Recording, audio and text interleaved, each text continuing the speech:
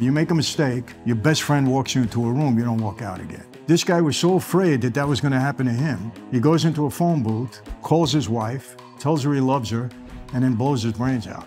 I have to pray every day not to hate Joe Biden. They stamped out organized crime. They killed my former life. So if you can do it to that powerful an organization, then you can do it with these with the drugs that are coming into this country, but you're not doing it. We used to work with Democrats. They were a lot easier to corrupt. That's the truth. They were true. Republicans, law and order. Democrats, corruptible.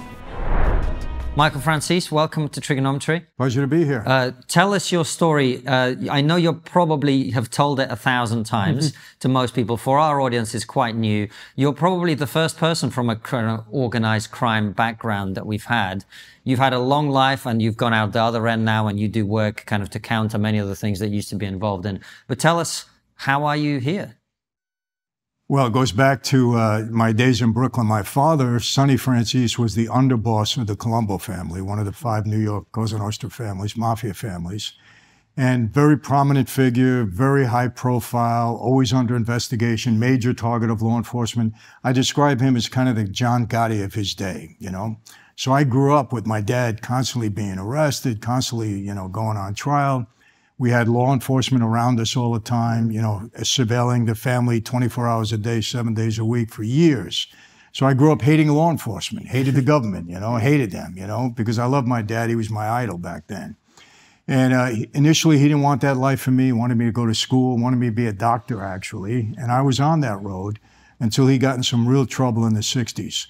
Indicted three times in the state of New York, twice for grand larceny, once for murder and that spanned over a couple of years while I'm a student. Um, he beat all of those cases, acquitted at trial, but then he gets indicted in federal court for masterminding a nationwide string of bank robberies. Goes to a lengthy trial, gets convicted. They sentence him to 50 years in prison. Mm-hmm. Longest sentence for a bank robbery conspiracy case ever given up to that point. 1970, loses all his appeals, shipped off to Leavenworth Penitentiary, Kansas, to do his time. I'm a pre med student at the time, and uh, I'm devastated when dad went in. He was 50. If he had 50 on top of that, he dies in jail, right?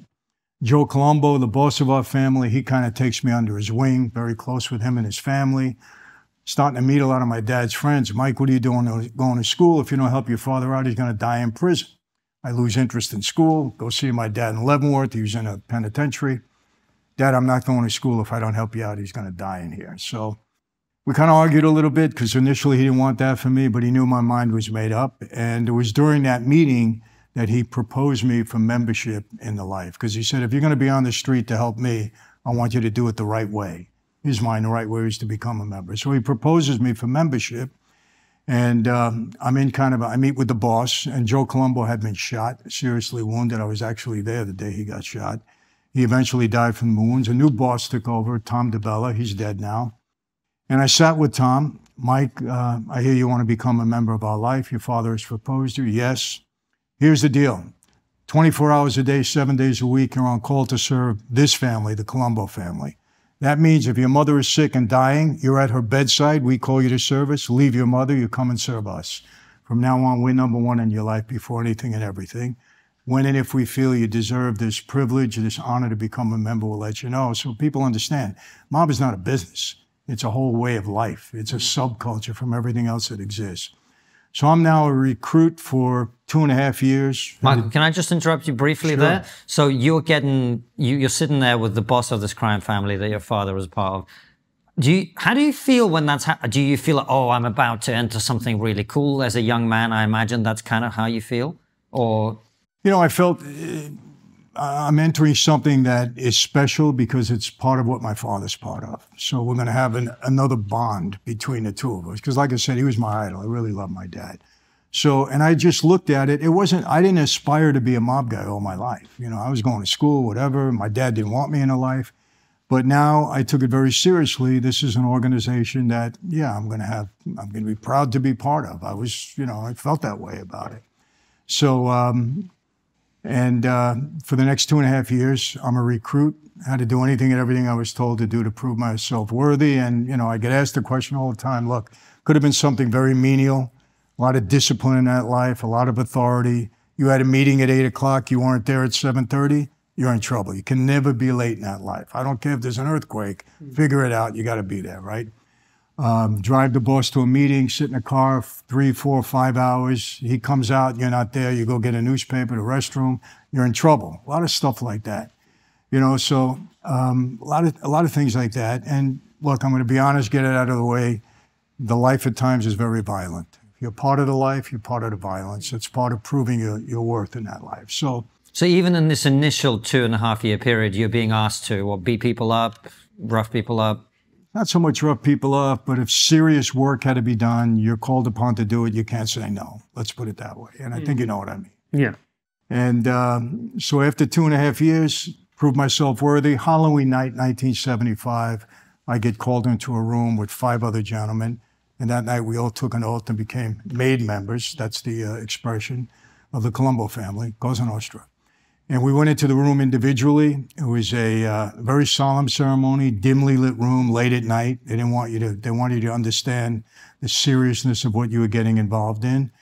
And I walked down, it was kind of like a horseshoe configuration. The boss was in the middle, underboss consigliere to his left and right, two official positions, and then all the capo regimes or captains alongside of them. I think we had about 15 in our family at that point. Walked down the aisle, stood in front of the boss, held out my hand, took a knife right here, cut my finger. Some blood dropped on the floor. It's a blood oath. I cupped my hands. He took a picture of a saint, Catholic altar card, put it in my hands, lit it aflame. Didn't hurt it burned quickly. It was symbolic.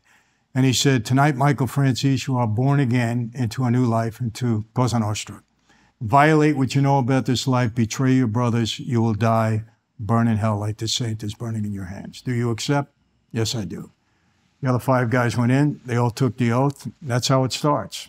And I started out, you're a soldier when you start out. That's an official position. And um, I was motivated to do two things. One, get my dad out of prison. I did get him out after 10 years on parole. Problem is, he kept going back. He violated five times and ended up doing 40 years on the 50, yeah.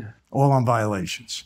Michael, can I just, when you were about, when you were taking that blood oath, was there not a part of you thinking to yourself, I'm going to be part of something right now that I'm going to have no control over. I'm going to be stepping into a life of violence, of crime, where my life is at risk every single day. Was there not, was there not a part of you that was worried about that? I don't think the word is worry. I think for some crazy reason I had, it was exhilarating. It was like, you know, I had gone through this two and a half years of sometimes drudgery, sometimes hard stuff, some whatever, you know, and now I finally made it, you know, this is it. So it was more exhilarating than anything else. I, uh, I didn't, you know, it's a crazy thing. You don't look at, well, I may get arrested. I may go to jail. I might get killed. You don't, I don't know. That night I didn't look at it, even though I experienced a lot along the way, you know, and throughout my life because I saw what helped my dad. But um, it was just more exhilaration that night, quite honestly. Do you think that's a major attraction to that life, particularly for young men who, you know, enjoy the adrenaline, enjoy the risk taking? That life is a life where you're going to be living on your wits. You know, there's big rewards but also if things go wrong, there's the ultimate penalty. That gives you like a sense of purpose and excitement, doesn't it? No question, no question. It's interesting that you say that because I speak to a lot of young people now. Mm. And I go into prisons, I speak to a lot of these juveniles, a lot of gangbangers, and they're so infatuated with the life, you know. Oh, Michael, you had the money, you had the cars, you had the women, you had power, prestige and they'll point out Goodfellas and Donnie Brasco. And I, and I said, yeah, but did you stay to see the end of the movie? Who got killed, who went to jail, who lost everything? They don't see that. Young people don't see that because they think, oh, I can, I can handle that. It's not going to happen to me. Um, and that's a problem because, yeah, when you're from the outside looking in, it's an attractive life. There's no question. And do you think that also as well, because young men they want to be part of something. We all want to be part of something, but yeah. particularly for young men, they want to be part of a group. They want to be part of a gang. And that sense of brotherhood. You, you went, you took the oath. You said you are now part of us. That must also be a huge thing for you. Absolutely huge. You know, when I get into the life, Michael, wherever you go in the world, somebody will have your back. We're everywhere. Don't ever worry about your wife, your mother, your sister, your daughter. Nobody will ever hurt them. They have brothers now to protect them. You know, we have your back. Very powerful words. Mm-hmm. You know, and people said to me, Michael, what do you miss about that life? And it's not the money and the power. I mean, I'm not complaining my life now, but it's that camaraderie among the guys. We were very tight. And aside from marriage, you know, you, you, you have, you know, a companion for life, there's nothing more powerful than this bond or this brotherhood among men. It's powerful. And so, yeah, I miss that, you know, in a way, because I was tight with my crew, tight with the guys. Uh, but, you know, there's always a downside. Yeah. Do you ever think it's, I mean, I'm going to ask a question and push back. Do you ever think it's almost like an addiction, Michael, in which, you know, you get, you, you get put into a situation which is literally life or death. You make your way out of it. You almost get a high from that. You get a high off the adrenaline that you wouldn't get if you were very successful selling insurance, for example. I think that's that's accurate. Yes, yeah, there is a certain high that you get at certain times. Yeah. So you you're a made man now, and this is the point at which I'm guessing your status, your power, your income, all of these things start to rise. Is that fair? Yeah, I was um, I was fortunate. Number one, I had a head for business. And I knew how to use that life to benefit me in business. If you use the life effectively to earn, it's, it's a plus in that regard. And I was very aggressive on the street because I was motivated. I wanted two, two, two things get my dad out of prison, make money. My dad said in this life, not unlike the real world, money is power. You make money, you rise in the ranks, same as the real world. So um, I was very aggressive in that regard. And I brought some new things into the family that I hadn't done before and went on to make a tremendous amount of money. In 1980, as a result of that, the boss of my family at the time, Carmine Persico, Mike, you're doing a great job, and he made me a capo captain. And that's a powerful position. How much money were you making? You know, combined, I had I had created a scheme along with a friend um, that uh, or business associate where we were defrauding the government out of tax on every gallon of gasoline. Mm. It's an operation I ran for almost eight years. Um, the Russian mob guys were involved with me. I pulled them into the into the, the organization. And at the height of our operation, I had 350 gas stations I either operated or controlled. I had 18 companies that were licensed to collect the tax on every gallon of gasoline. Height of our operation, we're selling a half a billion gallons of gas a month, taking down 30, 40 cents a gallon. So we were bringing in seven, eight, nine, 10 million a week. It's a lot of money. And um, I had my own jet plane, I had a helicopter, I had a house in Florida, a house in New York, a house in uh, California, and I had about 300 guys under me, really ready to do anything I tell them to do. So I had a lot of power in that regard. I also became a major target of law enforcement. I was arrested 18 times. I was indicted seven times. I had two federal racketeering cases, one state racketeering case, and then four other cases. I went to trial five times, and I beat every case. I was either acquitted or dismissed at the end of, of, of my trials. So um, I had a good record in that regard. So, you know, I'm doing pretty good, rising in the ranks. And quite honestly, they were, my dad was grooming me to take over the family at some point. And the boss had a son, my age. We came in at the same time. Uh, he baptized my son. We were tight. So they were grooming us to maybe one day take over the family. That's how it was headed.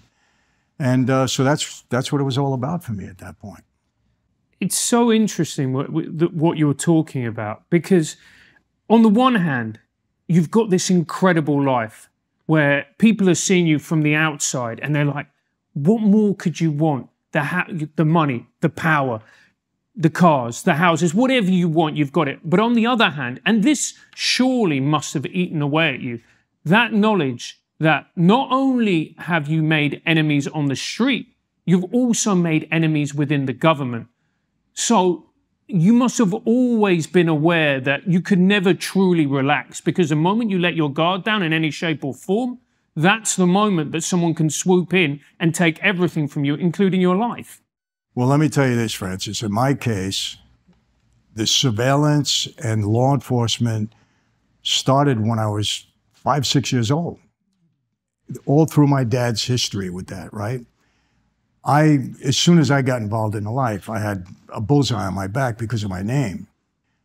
And what I found out, I had a number of undercover investigations uh, against me. I was, they always sending people to try to get me. What I found out is that they had a 14 agency task force that was combined of the FBI, the IRS, Queen Detective, Brooklyn DA, you name it, they were on him. And they were meeting in the uh, courthouse in Uniondale, Long Island, uh, twice a month. And their sole um, focus was to bring me down and put me away for life. So I lived with this. There was never a time in my life when I didn't live with constant knowledge that people were after me. And then, of course, on the street, I was a younger guy, and you always have to face resentment from the older guys. You know, it, it's part of the life, and especially when you're doing well. So you got to deal with that on the street. You got to know how to navigate that. And then, of course, everybody I spoke to is that a potential cop? Is an informant? Is this and that? So it was constantly on my mind. So I was able to deal with it. I wasn't paranoid. I was just very aware. I think that's the way to put it. Uh, and I still was determined to live my life, you know. People, oh, Michael, you got to play low key. Hey, I got money. I'm buying a plane. You know? That's it. I'm buying yeah. a helicopter. I want, I want, I want to travel that way. And so I did it. But I also had legitimate income, so I was able to cover things. But you know, it it, it was just a way of life for me. You know, it, it, it became unnatural when that stopped. I mean, nobody's looking at me. You know, I still think people are looking at me. They're probably not. You know? Probably they watch your YouTube channel yeah. now. Yeah, they are looking at you. I mean, you know, so it was just a way of life. It was natural to me. Yeah, but it think, was constant. Do you think, in some ways, Michael, you see, like, for instance, a family of athletes. You know, you get you know, the dad's played football, then the son plays football, and then the grandson plays football. Do you think there was a part of you in a way that was kind of bred for that life? You were almost built for that in certain in certain ways, the temperament, seeing the way your dad handled himself, the way your dad moved through the world. No question. I mean, I you know, I wasn't this wasn't what I wanted to do or what I was determined to do, but I was bred for it. There's no yeah. question because I wouldn't have lasted the way I did.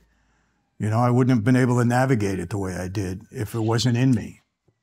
You know, for instance, I had two brothers. My younger brother, unfortunately, had a severe drug problem. He was a street kid, mm-hmm. but he could have never handled life. He just, he, it wasn't part of him. Um, my older brother, he never even got a traffic ticket. He didn't want nothing to do with nothing, mm-hmm. he, police or anything else. He, no, not knocking him. It's just, it wasn't for him. You know, so that that kind of got my father upset. You know, as your older brother, I said, Dad, you don't want to do it. What do you want me to do? You know. Yeah. Um, so yeah, it must have been in me all the time, and I, I didn't even know it. The Galaxy Projector 2.0 is brilliant. I've got one at home, and I can tell you my toddler absolutely loves it. If you're in need of a simple plan to get your little ones to settle down at night, then I recommend you try the Galaxy Projector 2.0. Kids love it, but the Galaxy Projector is for everyone. The device works great as a way to add some magic to your home lighting. I've seen people use it for immersive game room lighting, a home cinema, and for a house party too. It projects colourful nebulae and stars on your walls, ceilings, and pretty much any surface giving any room a truly magical atmosphere. With its app, you have full control over the features, colors, brightness, on-off scheduling, and a lot more. Plus, if you have Amazon Alexa or Google Assistant, you can control it with those simply by saying the magic words. For you die-hard Triggernometry fans, you can get 15% off using the code TRIGGER when you buy a Galaxy Projector 2.0 at galaxylamps.co slash trigger. You can also follow the link in the description or scan the QR code below. And now, back to the interview. And Michael, one of the things I found very interesting listening to you talk about this elsewhere is the idea that you are now entering a brotherhood and everyone's going to look after you only really lasts so long because it is, from what I understand, your brothers that are going to be there when you're getting put away in one way or another. If bad things are going to happen to you, they're going to be the ones in the room. Yeah. Yeah. Unfortunately, you know, there's a lot of uh, disloyalty in that life and the disloyalty. I always say it's this, you know, you know, you know the movie The Bronx Tale? Indeed, okay. yeah. Well, great Trash movie. great movie. He's a good friend of mine. Mm-hmm. There's a line in the movie when Calogero asks him, is it better to be loved or be feared? And he says, well, in my case, it's better to be feared because I keep people in line. And when I spoke to Chazz, I said, Chazz, you're wrong about that. And he said, what do you mean? I says, in our life, fear did keep people in line. No question about it. You know, we knew if we broke the rules, we could pay severe consequences. But what happened on the street in our life, especially, is that When the racketeering statute came out and the government got so sophisticated in the laws that they created to get us, the fear of the mob was transferred to the fear of the government. Because now under the RICO statute, you get one count, you go down for 20 years, and there's no parole. You're doing 17 and a half. But you never get one count. You usually get 5, 6, 10, 15. You're going away forever. So they put a guy in a room and say, hey, you cooperate with us, or we're going to indict you on this, we're going to convict you, and you're going away for the rest of your life. We'll put you in a witness protection program. We'll give you some money, change your identity. That guy's going to jail forever. You'll have a life. He's dead. Well, what happened? Well, they got fearful, and so many guys became informants. So you're right. It was the guys that you broke bread with every day that ended up putting you in jail forever. That's what happened to the life. A lot of people blame John Gotti. John was so outspoken. John did not destroy that life. He didn't help himself, for sure, because he was so outspoken. But it was the RICO statute and the government, with all these new laws that they put into place, the Bail Reform Act, you get locked up, no bail. Danger to community or flight risk, no bail. Very hard to defend yourself from inside prison when you're fighting a major case. You know, um, forfeiture statute. They prove you put one dollar into buying your house that costs five million, they take your house. Mm-hmm. It's that simple. So they destroyed the life in that regard, and people started to turn, and that's what brought it down. Mm, that's really interesting. So it's a case of the government and the, the law enforcement actually doing their job. No question. Well, that's incredible. Unusual nowadays. Yeah. Well, against us, it's not unusual. Let me let me tell you, crime in the street, and, and you can't even believe what's going on there. You wouldn't believe it if I told you. You'd say, "Come on, Michael, mm. this is a script for a movie." It's true. No, we, we were telling you, we go to America regularly. So you you, know. It has to be seen to be believed. Okay, but it is happening. So you know, in, in Los Angeles, you can go into a store and steal under a thousand dollars and walk yeah. right out of the store. Nothing happens to you. Nothing. If you want to get toothpaste now, they got a lock and key. You got to go call the attendant to get because they got they got to lock everything up. Everything's being stolen, and nothing happens. But if you're an organized crime, forget it. You, you, you know, you uh, illegal gambling. You're a bookmaker. You go to jail for 20 years. It's crazy. Was it? I mean, was it part of the organized crime uh, families who actually controlled the streets in that they wouldn't let those things happen to the area that they looked after or they commanded? Do you see what I mean? You wouldn't let people go in and rob rob stores like that. The safest communities were our communities where we. There's no crime in my neighborhood. There's no crime in John Gotti's neighborhood. We wouldn't allow it. If there's any crime, it was us. But we wouldn't. you know, we wouldn't. We wouldn't prey on our own people that way. No, it was very, very safe. Drugs, you didn't come to our neighborhood with drugs because we were not allowed to deal with the drugs. If we dealt with drugs, we we die. Period.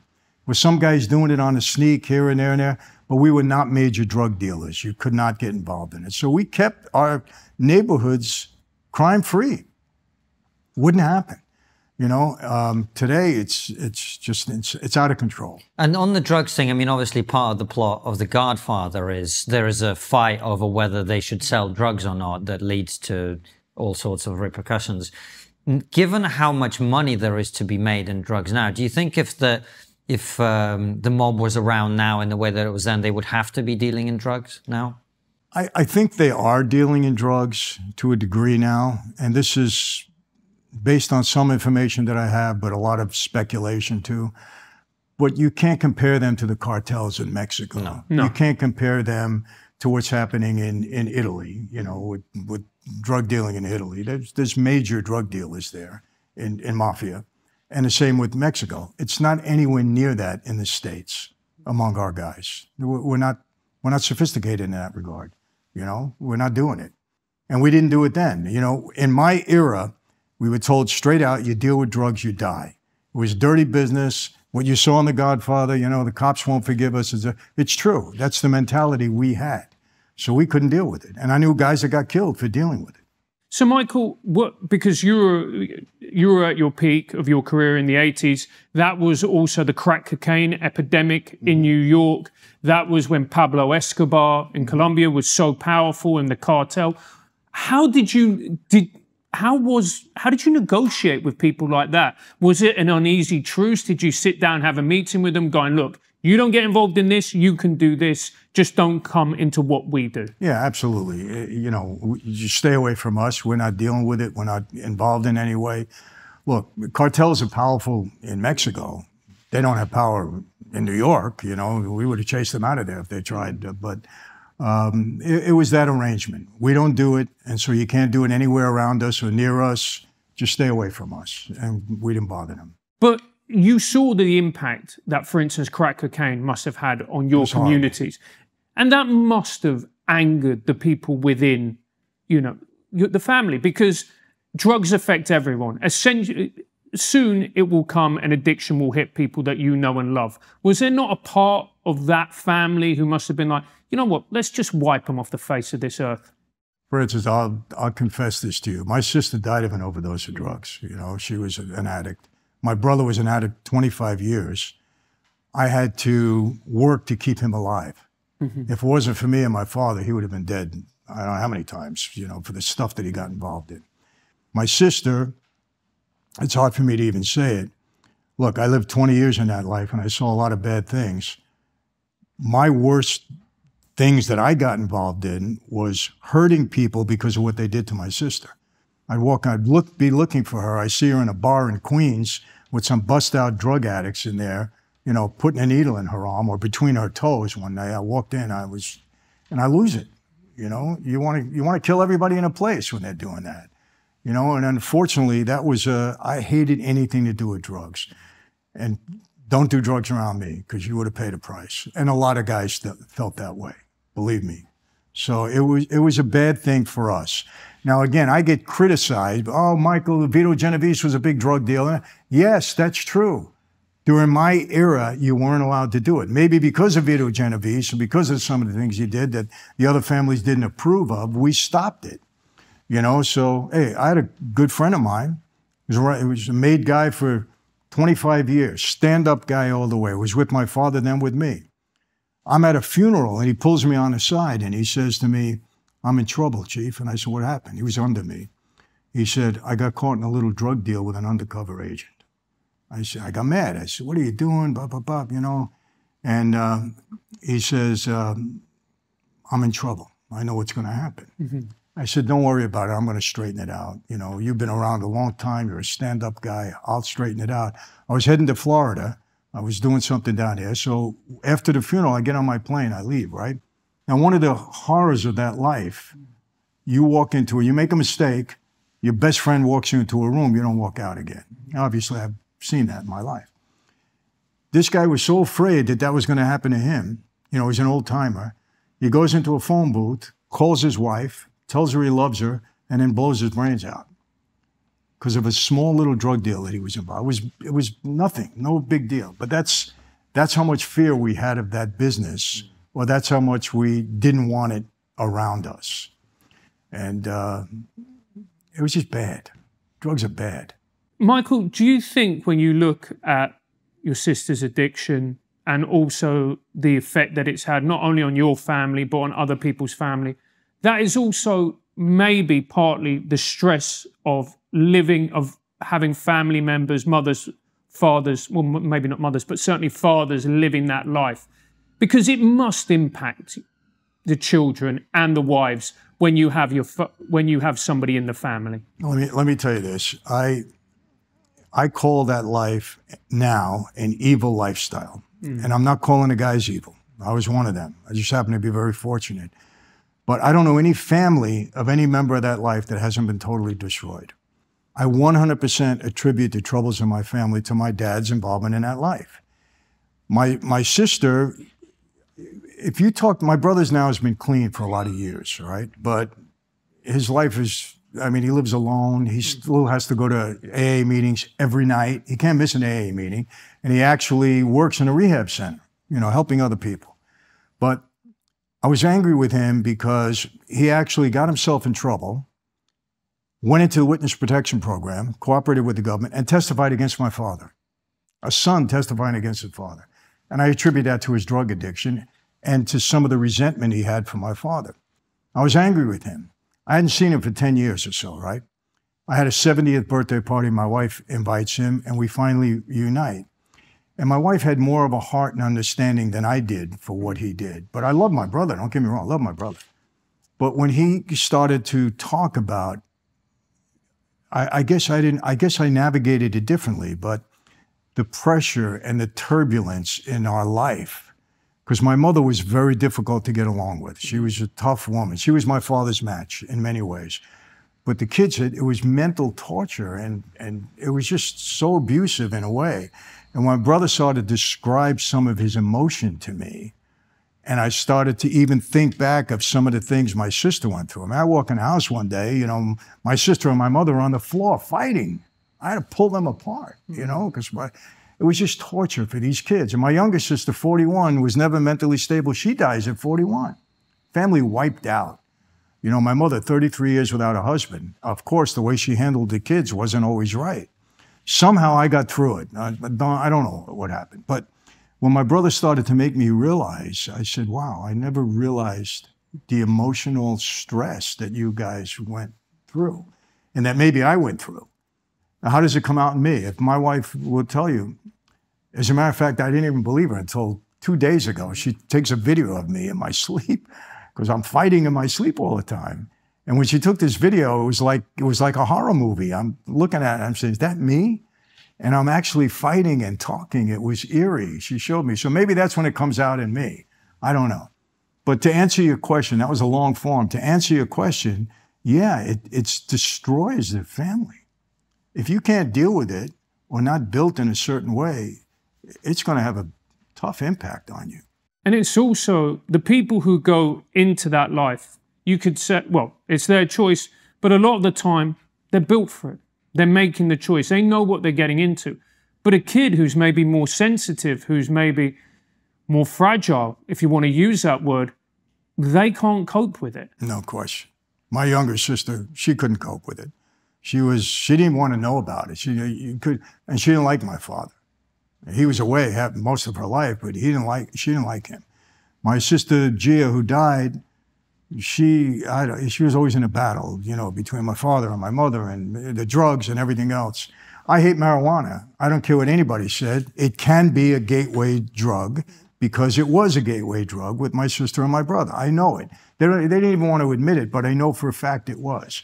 So I'm not saying in every case, no, I'm not saying that, even though studies are coming out now and how harmful it can be, you know, to, to your brain and to your system. But uh, I hate anything having to do with drugs. I've never taken it, I've never smoked a joint. I took one time in my life, I was 19 or 20 years old with some girl, and she gave me half a Quaalude. And that got me crazy. I said, so I'm done. I don't want to take a drug. I won't come near it. Prescription of, you know, mm-hmm. obviously you're sick, you take a drug, but I hate anything to do with drugs. Michael, what do we do then? Because obviously you're in organized crime. We had prohibition, Al Capone.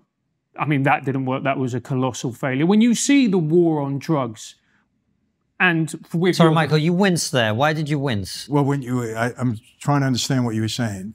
When you say it didn't work, the, the, oh, the prohibition. Prohibition. I said prohibition didn't work, and we could argue that the war on drugs hasn't worked. Not working. So, do you have any ideas about what you would do in order to minimize gangs' involvement within drugs? Well, I would be, this could get me in trouble on the street, but I would be extremely hard on drug dealers. I would. Extremely hard. I would set an example where they, because they're destroying, they're destroying our youth. Mm-hmm. I mean, I am, I, I want to say this now politically, I don't care. I have to pray every day not to hate Joe Biden. Mm-hmm. And the reason for that, forget the politics, forget what I think of him as a, as a president. But the fact that our southern border is so porous, and I know this firsthand having spoken to 850 Border Patrol agents from the state of Texas. I did a seminar with them and I was a speaker. And they confided in me that they're not even getting 10%, not even 10% of the illicit drugs that are coming across the country, right, into our country.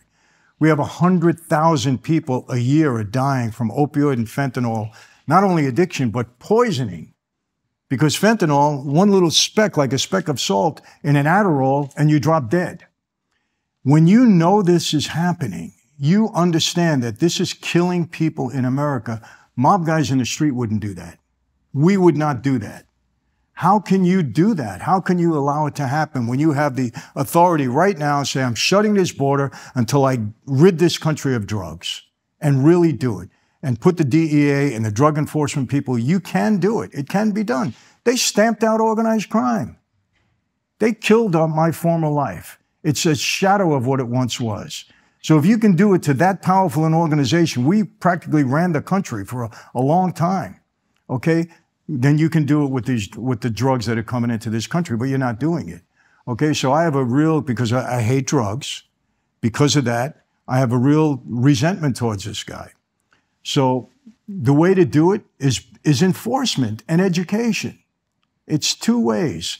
And if they put their efforts into that, you can severely, severely reduce the amount of drug addiction and overdoses that you have in the country. It's different in prohibition. You can't put drugs and alcohol in the same place. You mm-hmm. cannot. Listen, I don't know if you know this. During, you know who made the mafia strong in America? No. The government. We were a bunch of street gangs until prohibition. And Capone and all these guys realized, wait a minute, these people want this. It's a, it's a festive uh, thing. You drink, you know what I mean? Yes, you can get addicted to alcohol, but it's not the same as drugs. I don't care what anybody says. It's not. Okay? People want it, they're going to do it. You had in New York alone during Prohibition, in New York State alone, you had 36,000 speakeasies. Did you know that? So when you have this amount of places that are serving alcohol to people, you're not going to stop them. They're going to they're going to drink it. That's it. Drugs is a bad thing and it should be stopped and they could do it. And they know the difference between drugs and alcohol. They know the difference. You know, a lot of people, oh, come on, alcohol is the same as drugs. No, it's not. It's not. It's different. Drugs kill you and they can kill you immediately. And I'll say this last thing, another I had my youngest daughter, mm-hmm. Her fiance, was going to be her fiance, 24 year old kid, wonderful kid, was my videographer, did all my video work, right? amazing kid, good looking, strong athlete, whatever. He's living in my house, in my guest house, because he was working for me and he had lived in Michigan, so he comes out to California. I'm speaking to him that night. He had to do a, a, a video that morning. I was in Chicago. He takes an Adderall at 12 o'clock. These kids take Adderalls. Why, in college, they take it why? To stay up so they can study. It's the harmless drug in that regard. Well, this one happened to be laced with fentanyl. He got it from a friend on the street. Within 10 minutes, he drops dead on the floor of my bathroom. How do, if you're a decent human being, how do you continue allow this to happen when you know this is coming into our country? Drugs need to be stamped out and it needs to be enforced in the, in the toughest way possible because it's, it's just, it's devastating. You mentioned the border. It used to be within living memory that left, right, Obama, Bush, everyone agreed countries need borders. Everyone agreed about border security. What happened? Very simple. There's no other way to understand or to figure out why is he doing this? Mm-hmm. Why? It's only one reason. Okay? And I don't care what anybody says. They want to turn every state blue. They want to bring these Ill- illegal immigrants in. Now, I don't know if you know this. You don't need any ID. If you're an illegal, remember the word illegal immigrant, you don't need ID now to get on an airplane. Do you know that? In America, mm-hmm. no. you don't need an ID. They just passed it. You don't have to have an ID. You don't have to have a license or anything else because you don't have one. And they'll let you on board the plane where we have to go through so much scrutiny. They're making it everything. Eventually, they're going to give them the ability to vote. And they're going to say, hey, if you vote Republican, they're sending you back. If you vote Democrat, we're going to keep you here. They're padding the bill. They don't ever want to get out of power. There's no other reason. If you can think of another reason that makes sense, tell me. I'm telling you that's what it is. They want to flood the country with illegals that eventually get them to vote, and they want to pad the voting uh, registration, and that'll be the end of it. There's no other, nothing else makes sense. Because all they want to do is stay in power. I guess if there were another reason, and by the way, I don't your argument's persuasive. Um, it would be, you know, you know this progressive ideology: be kind, be nice. You know, there's no such, no one's, no human is illegal. All of this stuff. Do you think maybe it's just that? Maybe they're just so well intentioned that they do stupid okay. stuff. so well intentioned, then the illegal immigrants that are living on the street, why don't they take them into their neighborhoods and in their house? Do you know when they went into some of the affluent neighborhoods, okay, in, um, in Massachusetts and ever, that they revolted? They had a busload, I think, of 100 people, and they were in panic. They had to move them out of their town. There's no humanity in, but they're not humane at all. Joe Biden couldn't care less. You put them on his doorstep, he'll be moving them out faster than anybody else. This is a scheme on their part. I'm telling you, there's no other reason that makes sense. Then this has nothing. If they were humane, I, I, don't think you really know what's going on in the United. These people are living like animals, mm-hmm. half of them. Because what, what are they going to do with them? They don't have a place to house them or anything else. It's costing billions. Even now, the blue state mayors are revolting against this because mm. they have no place to put them. Mm. I just wanted to put that argument to you to see what you said. And obviously, America's about to have another election. What, what do you make of what's coming and how, how this conversation goes? Because the stakes seems higher than ever. It's listen. It's uh, it is the stakes. Another four years of what we have now, America. You won't. You won't even want to visit there anymore. It's getting that bad. We, we can't go through this. Listen, it's it's Trump and Biden. I know that. I wish there were two other candidates.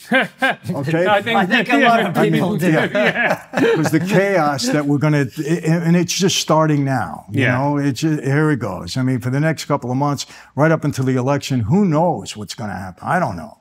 Who knows what's going to happen in the world? I'm telling you what I believe. I believe our president and our administration is so weak that the rest of the world is going to take more advantage.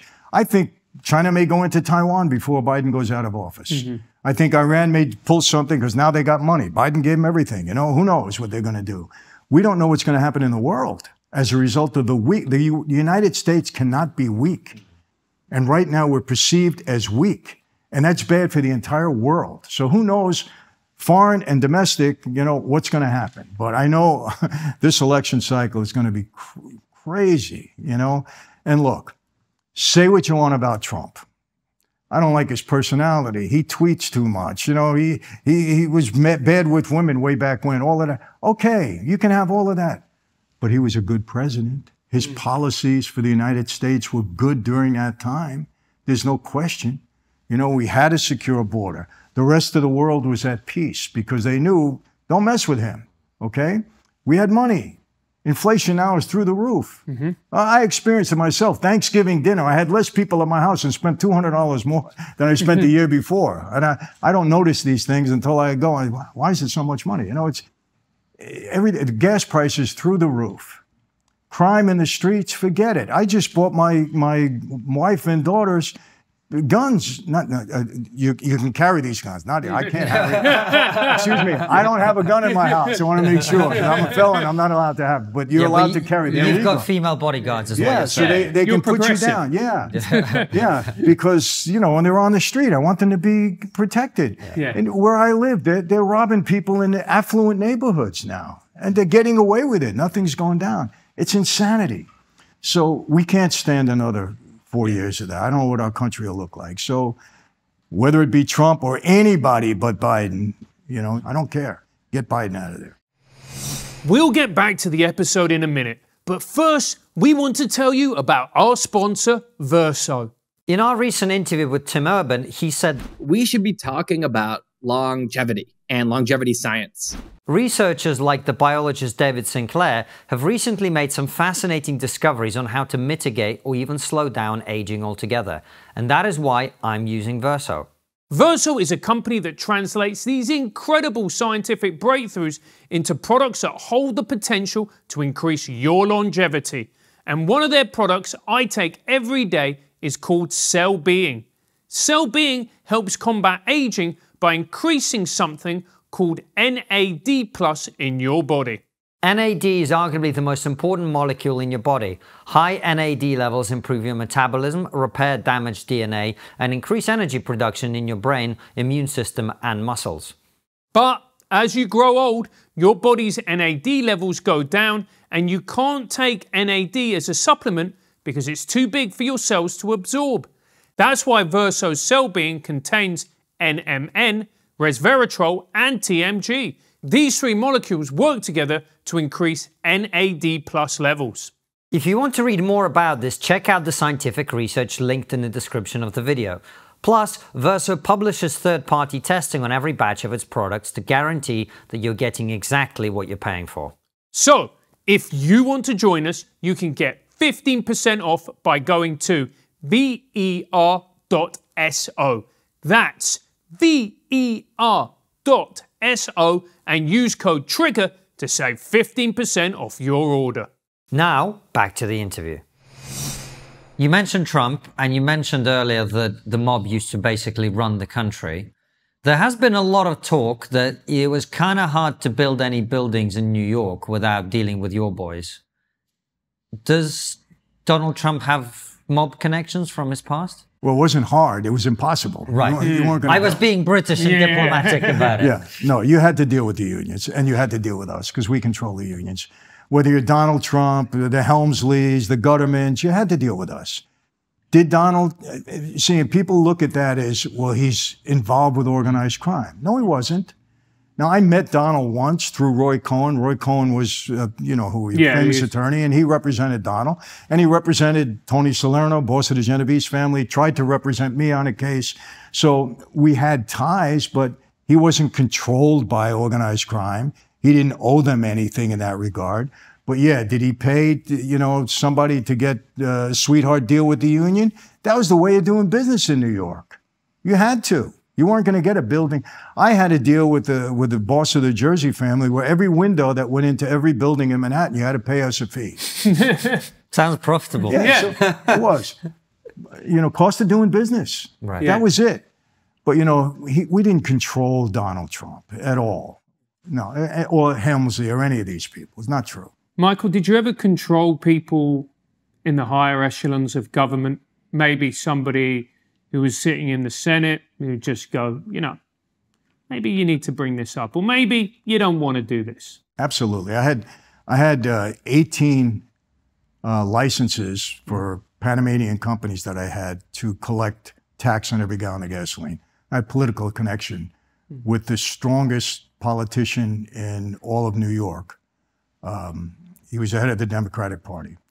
We used to work with Democrats. They were a lot easier to corrupt. That's the truth. They were true.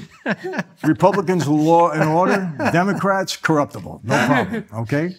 So, um, So you voted Democrat whenever you voted. absolutely. We're strong Democrat. Yeah. We didn't like Donald Trump back then. We would have voted against him. We didn't want law and order, but um, in that regard. But yeah, I mean, we had, look, I attended many fundraisers and, you know, we helped him, he helped us. There's no question. And that was one of, of many. So when you look at the Senate and you look at these people coming out and they're talking about America and you know the, the American dream or whatever it may be, how cynical are you of these politicians? Are you there going, "Yeah, I know your game"? extremely cynical. Um, listen, I understand the game. I really do. And I get it. And I don't begrudge anybody. I understand that these politicians come in as blue collar people mm-hmm. and they go out as multimillionaires. Nancy Pelosi, okay? Multimillionaire. She's the best stock trader in the whole world. You know? Why is that? Maybe she has some inside information that you and I would go to jail for if we had it, insider trading. I get it. You know, they use their position to make themselves set up in life. I, I can al- almost understand that. But when you do that, okay, and you do that and you're hurting the people that put you in office, that I don't like. I don't like the fact that they lie. They just lie. It's so blatant now. There was a time during my life where the politicians like to have some integrity, you know, to show that they were above board. Now, because everything is on video, everything, you can see it a minute, they just lie and lie and lie and lie and lie. And it, it just, the uh, hypocrisy is, is, I just went on Rumble. And the reason I went on Rumble is because I can't talk as freely on YouTube. You know that platform, you get shadow banned and all of that. But on Rumble, you can talk because I need an outlet for what I believe in. Mm-hmm. Because I love my country. And I tell people, listen, I got seven kids and seven grandchildren, and America is going down a very bad road, and I'm very concerned for them. I really am. And there's there's just a people don't have any honor anymore. You know, public office used to be something of honor, I think, and integrity. And I, I don't see it. Not everybody. Now, you know, I hate to say this like I'm painting, you know, the canvas with one brush. I'm not. There's a lot of people that mean well and do well, but a good percentage of them are just not in that category. Mm. Michael, we're talking about your background, and I, I sense two things at the same time. Like, on the one hand, you call it an evil life that you say destroyed your family. But there's also like, there's a pride to it as well, it seems to me, or an, a code or a, some, a bond with the people that you were with. Or Am I right about that? I think so, yeah. You know, look, there's a lot of guys there that, that I had good feelings for, that I really liked, you know. They were, uh, listen, I'm going to be straight out. I mean, there might have been killers because in that life, you make a mistake and your hmm. best friend may kill you. And that's just, just the way it is. And I'm not saying that's right or wrong or whatever.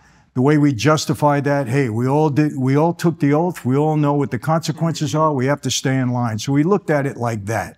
I'm not saying that's right, but that's how we viewed it at the time. But there were also guys that were good guys. Mm-hmm. You know, why do, why do good people do bad things? That's an age old question. Who knows? But, but I had pride in the life because during my era, I think we, we were a force to be reckoned with. Mm-hmm. And it wasn't only, you know, when you take that oath, people think it was an oath to lie, steal, cheat, kill, murder. That's not the oath. The oath of omerta means silence. You're never supposed to even admit that the organization exists. That's what the oath is. Now, other things happen, you know, as part of that life, obviously. But, you know, you talk about murder. There's some guys on YouTube now, you would think that every day their assignment was go kill somebody. Mm-hmm. Go kill this guy, go kill, go hit this guy with a baseball bat, go do this. It's insanity. There's a guy there that says, you know, he baseball batted 100 people, he killed 50 people. If you're in Vietnam, you're not going to kill 50 people. How could you? Where are you going to find 50 people on the street to kill? Mm-hmm. One guy. Mm-hmm. You know? They just say these things. It's crazy. It, it, that's not what our life was about. Yes, if you made a mistake and it was severe enough, you may pay for it with your life. That's just the way it is. But we didn't go around every day trying to do that. The last thing we wanted to do is, is violence because it's not good. It brings heat and it's mm-hmm. problems. You know, and in our life, murder was taken very seriously. It wasn't like, okay, go kill this guy. No, wait a minute. There was discussion about it. The boss was the only one that could approve it. It had to come from him. You just couldn't go around and kill people in that life. And um, so I, I, I, guess I get a little upset at times when they look at everybody. Oh, all you guys did was murder and kill and steal every day of your life. Mm-hmm. Not true.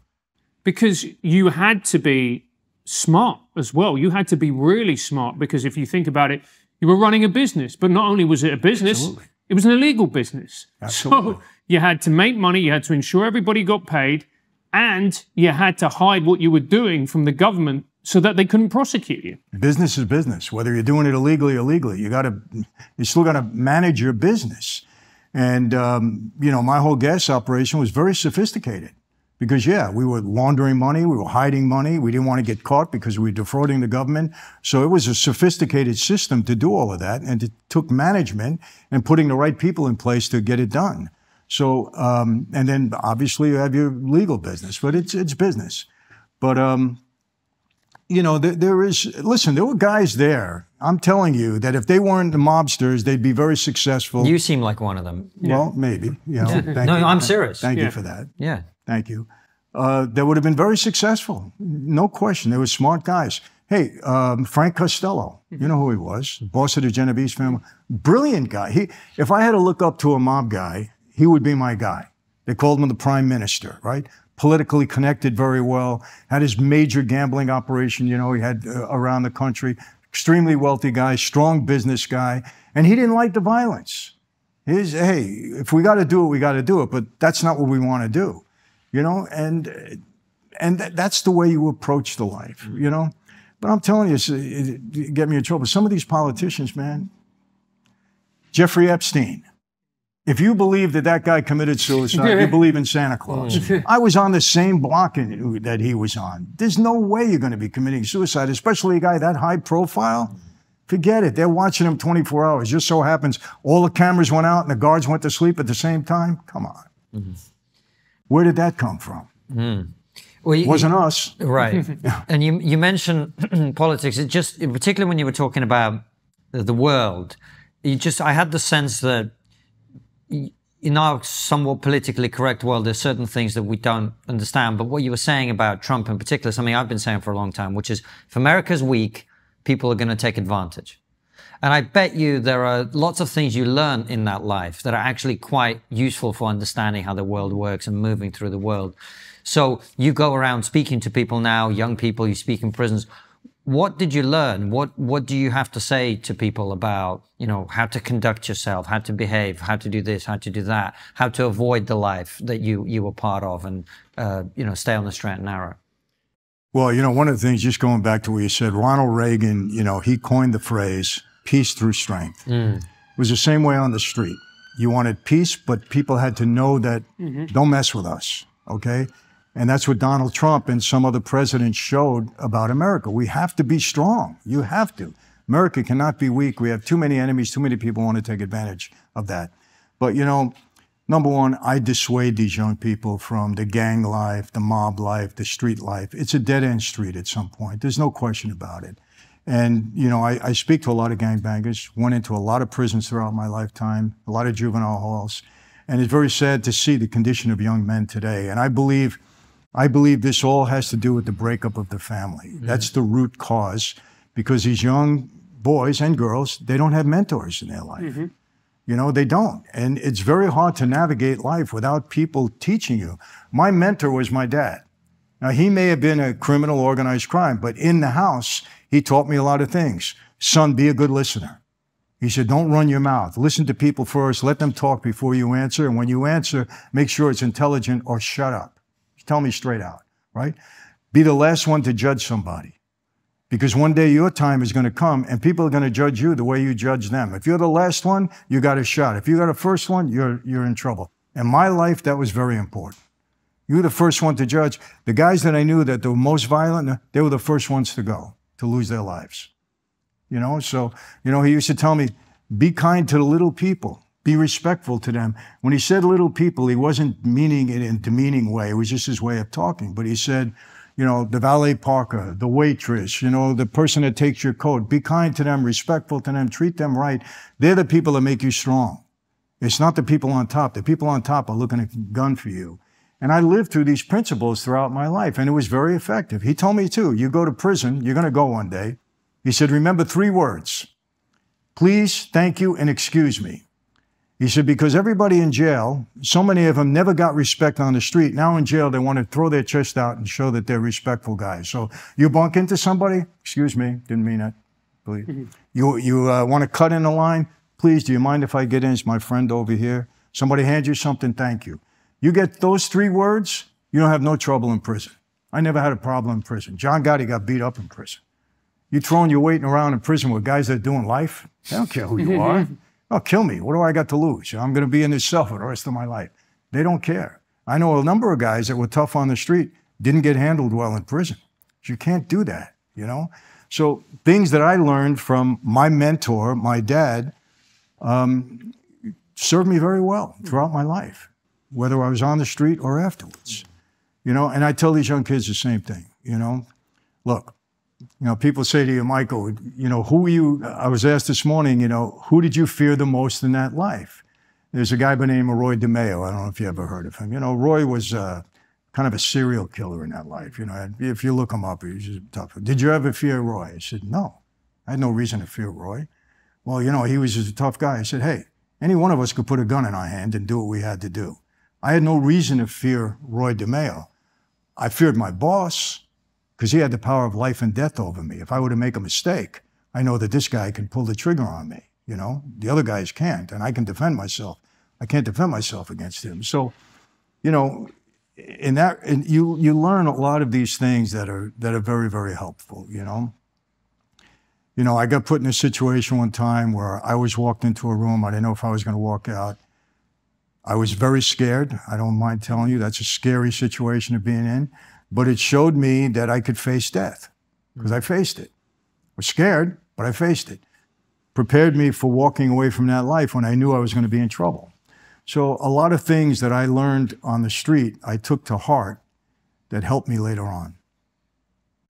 Michael, it's been an absolutely fascinating conversation. Thank you so much. We're also going to ask questions from our locals. There are supporters. All that content will go behind a paywall, but we always end our interviews with the same question, which is what's the one thing we're not talking about as a society that we really should be? Well, I, I think again, and this is a product of me having children and grandchildren, one of the things that's really gotten me that I don't think there's enough conversation about, hopefully it's, uh, it's, it's happening, is this gender affirming surgery mm. among minor children. It's horrific. It's mutilation. I did my research, spoke to doctors, read enough articles on it. And the fact that we're allowing it to happen uh, is, is just criminal. It's criminal. There's no other way to put it. And again, I have to say it again, you know, another thing I have with Joe Biden, Joe Biden made a statement, and I think he's just pandering to people to do this, and it's horrible to pander, to give up your integrity like this at the, to the detriment of people is horrible. He said that banning, banning gender affirming surgery among minors is both immoral and outrageous.